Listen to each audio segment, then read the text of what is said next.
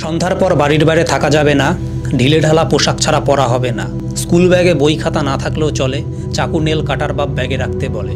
প্রতিদিন হচ্ছে রে বিক্রি মোমবাতি, ফেসবুকেতেই মিছিল দেখি পুলিশ ছিঁড়ে বাচ্চে আটি। এ কেমন বালের আইন, কেমন শাসন ব্যবস্থা, ধর্ষিতারা গৃহবন্দী রেপিস্ট পায় সুরক্ষা।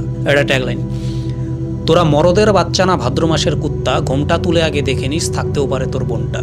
আজকাল পরশু নয় এ বহু যুগের ধারা, রেপ বৃদ্ধির রেসে ভারত বিশ্ব সেরা। বড় লোকে রেপ করবে, কেস লড়বে উকিল, ধর্ষিতার বাপ চেয়ে দেখে মোমবাতির মিছিল। বোঝা হইল সারা এ কত আইনের ধারা, মা বোনদের বাঁচাতে নিয়মটা হোক করা। রেপিস্ট, মন্ত্রী, শিল্পপতি যাই হোক তারা, কেসের মুখে জুতার বাড়ি, আগে কাটো তার বাড়া। আবার ট্যাগলাইন তোরা মরদের বাচ্চা না ভাদ্র মাসের কুত্তা, ঘোমটা খুলে আগে দেখে নিস, থাকতেও পারে তোর বোনটা। মেয়ে মহিলার সাথে রেপ হচ্ছে শিশু।